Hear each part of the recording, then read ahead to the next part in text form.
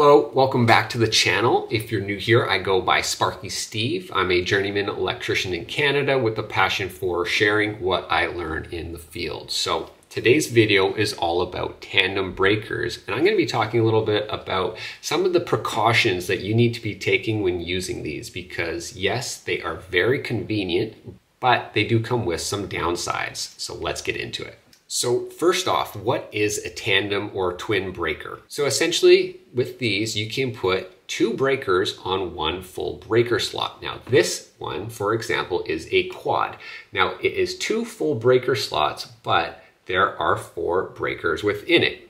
A one two pole 40 and then two single pole 15 amp breakers.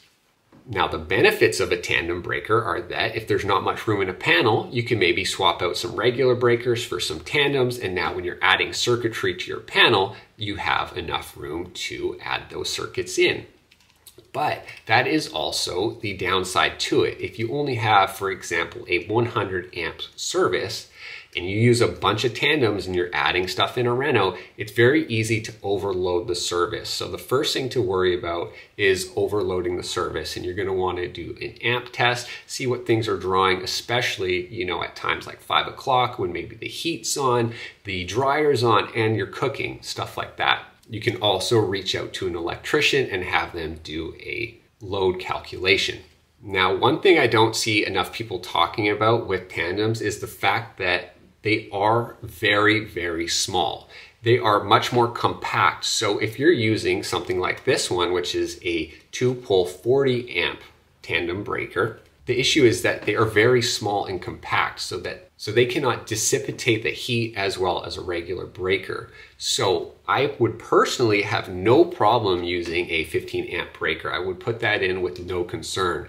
But if you're putting in like a 50 amp tandem breaker, because the load is higher, there's going to be more heat within it. And if it does overheat, it's going to become less reliable over time. So those are the main two things I really consider. And I try to avoid putting in 30, 50 amp tandem breakers when I can, simply because I want to give the homeowner a good product and I don't want to have to come back and fix it in the future.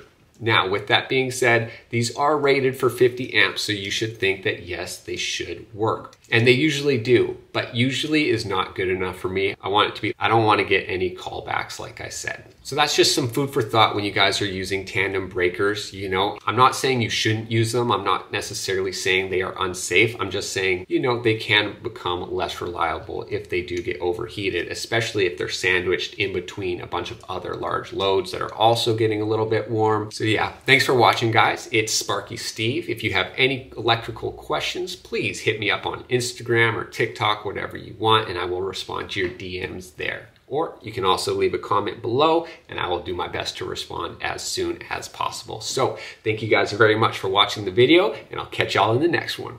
Peace.